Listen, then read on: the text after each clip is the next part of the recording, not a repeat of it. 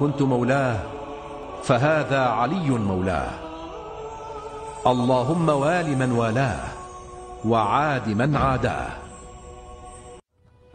Qədirxum hadisəsi Tarixin yaddaşına silinməz hərflərlə həkk olunmuş Qədirxum hadisəsi Əli əleyhissalamın imamət və xilafətinə şəhadət verən ən böyük dəlildir. Hicrətin 10-cu ili Zilqədə ayının 25-də, miladi təqvimi ilə 632-ci ildə Həzrət Məhəmməd Peyğəmbər həcc ziyarətinə gedəcəyini buyurdu. Bu xəbər xalqı sevinç dolu həyəcana gətirdi. Bu həcc mövsümünü sevimli Peyğəmbərimiz ilə birlikdə keçirmək istəyən minlərlə müsəlman Kəbə evini ziyarət etməyə hazırlaşdı. Sevimli Peyğəmbərimiz digər müsəlmanlarla birlikdə həcc mərasimini yerinə yetirmək üçün Məkkə şəhərinə yola düşdü.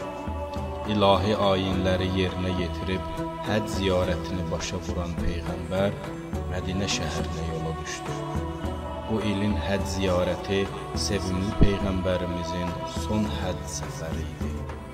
Zilhiccə ayının 18-i bazar günü Cövhə məntəqəsinin yaxınlığında yerləşən Xum adlı məkana yetişdikdə Mələk Cəbrail Allahın buyruğu ilə Peyğəmbərə Maidə surəsinin 67-ci ayəsini nazil etdi.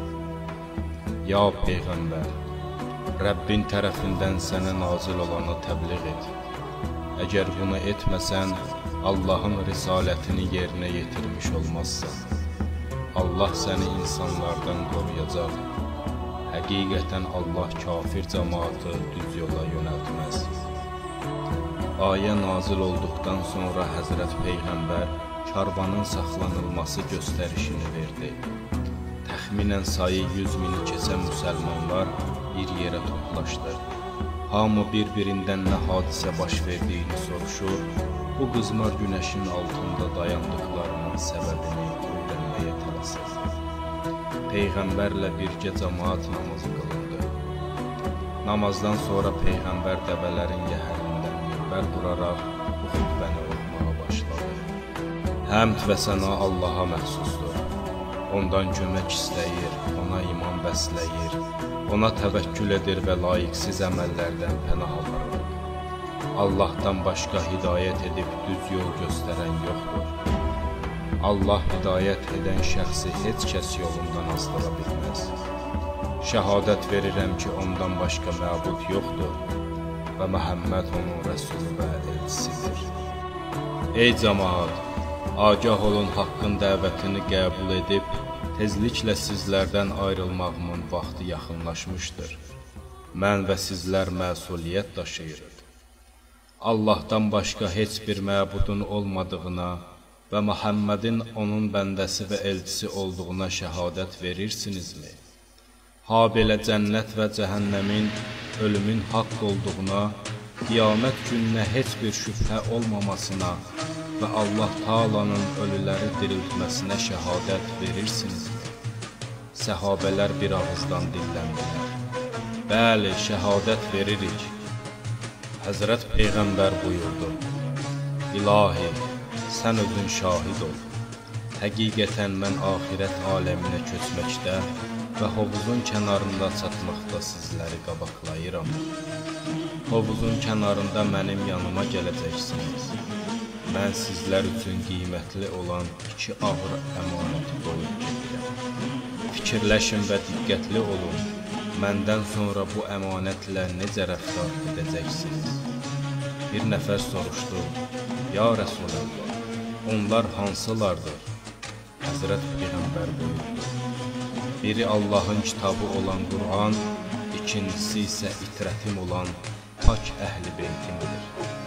Mehriban Allah məni xəbərdar edib ki, bu iki əmanət Kavsər hovuzunun kənarında mənə qovuşmayınca bir-birindən ayrılmayacaqlar. Qur'an və itrətimdən qabağa keçsəniz, yaxud geri qalsanız həlak olarsınız. Bu sözlərdən sonra Peyğəmbər Həzrət Əlinin əlindən tutub yuxarı qaldırdı və buyurdu, Mən kimin mövlasıyamsa, Əli də onun mövlasıdır. Ey Allahım, hər kim onunla dost olsa, sən də onunla dost ol.